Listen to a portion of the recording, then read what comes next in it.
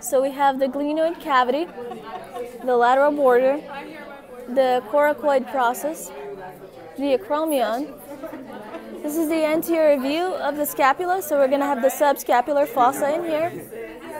Then we're going to have the inferior angle at the bottom, superior angle at the top. If you flip it to the posterior side, you have the infraspinous fossa, and then supraspinous fossa above the spine. This is the scapular spine right here.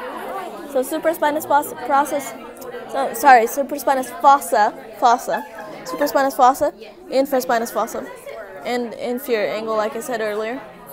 And remember, this is lateral because the glenoid cavity has to be lateral because it meets, it articulates with the head of the humerus to make the armpit. And this is the medial border. And that's it.